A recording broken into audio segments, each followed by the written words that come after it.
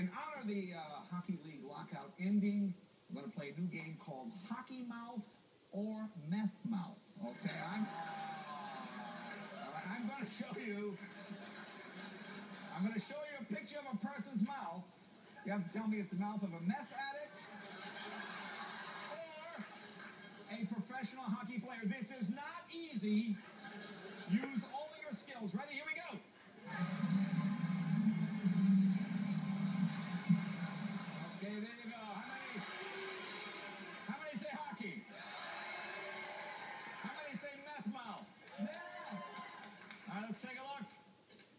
It's that cat!